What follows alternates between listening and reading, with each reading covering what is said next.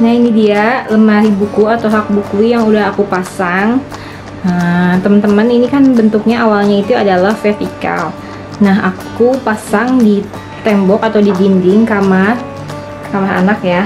Ini aku pasangnya horizontal supaya nanti di atasnya ini bisa kita taruh tempat uh, sebagai tempat mainan atau tempat apa pun teman-teman bisa pakai. Nah nah ini dia. Pemasangannya ini itu pakai siku.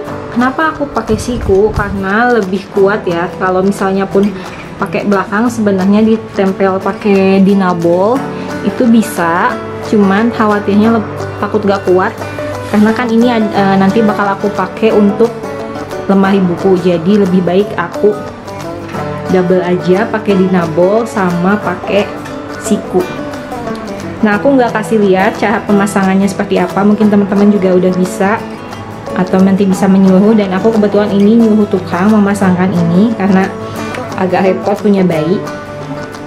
Nah Yang ada kesalahan pemasangan di sini ini harusnya ditempel di sebelah dinding sana. Karena di sana itu bagian permukaan yang putih jadi nggak kelihatan jeleknya seperti ini. Nah untuk menutupi permukaan yang berbeda atau yang warna ininya seharusnya kan di dalam. Aku akan pakai wall sticker yang berwarna putih supaya nanti ini terlihat lebih rapi atau lebih bagus lagi. Jadi nanti teman-teman sebelum memasangkan ini diukur dulu tempatnya cukup atau enggak. Kemudian nanti uh, tandain dengan pensil dan ukur uh, tempat pemasangan untuk sikunya gitu. Nah ininya sengaja nggak aku copot karena buat pembatas si buku-buku aku. Nah ini dia sticker yang aku pakai aku beli di shopee. Nanti aku akan kasih lihat nama tokonya.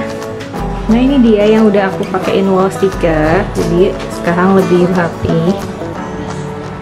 Kelihatan. Jadi teman-teman kalaupun mau ganti warna dari atau teman-teman punya lemari buku seperti ini tapi warnanya bukan putih pengen ganti tema putih bisa pakai wall sticker ini.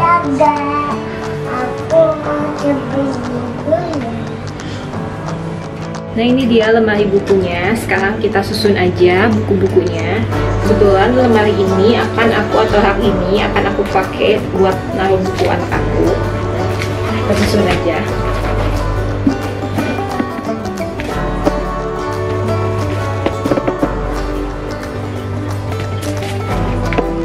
Nah, untuk mempercantik hiasan, kita taruh bunga seperti ini.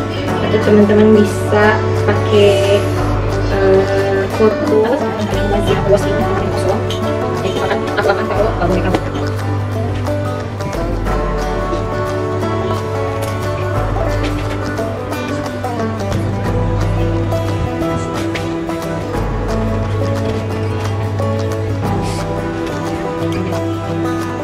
Nah ini dia uh, lemari buku buat anak aku, lemari buku anak minimalis di kamar. Bisa teman-teman contoh seperti ini.